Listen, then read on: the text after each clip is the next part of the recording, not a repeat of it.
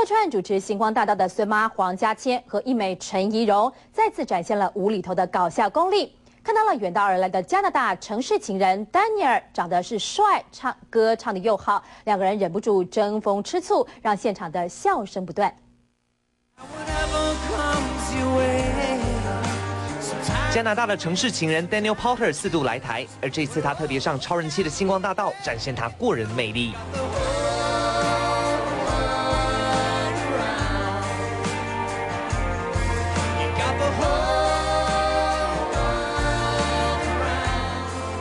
而这样动人深情的歌声，让客串主持的孙妈黄家千和艺美陈怡蓉心花怒放，当场把握机会，忙着献殷勤。May I buy you a cup of coffee, or you can buy me a cup of coffee? Cup of coffee would be lovely. Thank you. Oh, yeah, I should buy you a cup of coffee, though, right? Okay. Okay. Yeah. Oh, and me? Of course.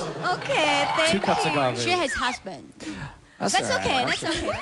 两人无厘头的主持方式，让比赛紧张的气氛缓和了不少。而陈怡蓉看到林鸿明表演用的麦克风架，说那是自己从小的梦想，也想要试试看。来，小小姑娘清早起床，提着裤子上茅房，茅房有人没有办法，只好拉着裤子上。